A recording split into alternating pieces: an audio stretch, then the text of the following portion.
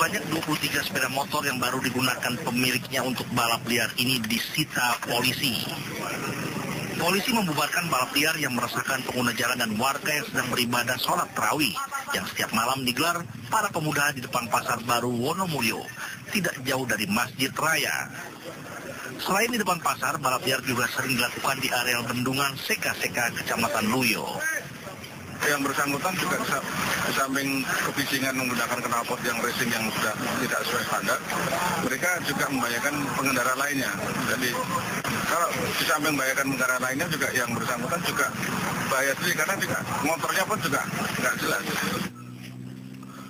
Berdasarkan catatan Polres Polewali Mandar, sejak razia balap liar dilakukan, sebanyak 91 sepeda motor yang tidak dilengkapi dokumen disita di dua lokasi berbeda.